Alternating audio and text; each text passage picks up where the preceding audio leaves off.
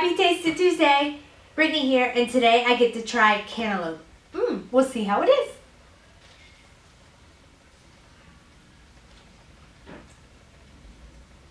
Mmm, that's pretty tasty. I'm not a super cantaloupe fan. However, this isn't bad. It's a very light flavor. If you're not into something super sweet, this might be the flavor for you. Get yours today. Bye, guys.